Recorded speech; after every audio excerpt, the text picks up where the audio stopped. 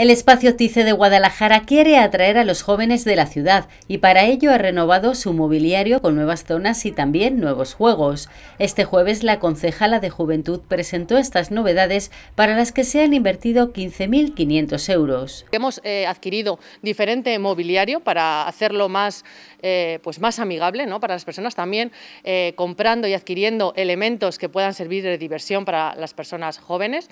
Hemos visto como tenemos ahora un futbolín, una diana un air hockey y también hemos hecho una compra importante de juegos de mesa que sabemos que son ahora mismo pues un elemento que a las personas más jóvenes pues les gusta mucho y les sirve de entretenimiento. Hemos hecho también la compra de mobiliario de mesas, de diferentes mesas, de diferentes tamaños, puff, eh, diferentes sillas. También tendremos puntos de recarga eh, para los teléfonos móviles o diferentes dispositivos electrónicos, que sabemos que eso es una cosa que a las personas eh, pues de menor edad les interesa mucho, ¿no? Todo con un objetivo claro, atraer a la población joven de la capital, ya que para entrar será necesario contar con el carnet joven. Queremos que este espacio sea un espacio con vida, queremos que sea un espacio que las personas jóvenes, los adolescentes de la ciudad de Guadalajara sientan como propio, sientan como algo suyo y que, que puedan venir aquí y utilizarlo en todas las, eh, en todas las vertientes, ya sea en el ocio ya sea también eh, pues desarrollando una actividad eh, artística como puede ser una exposición.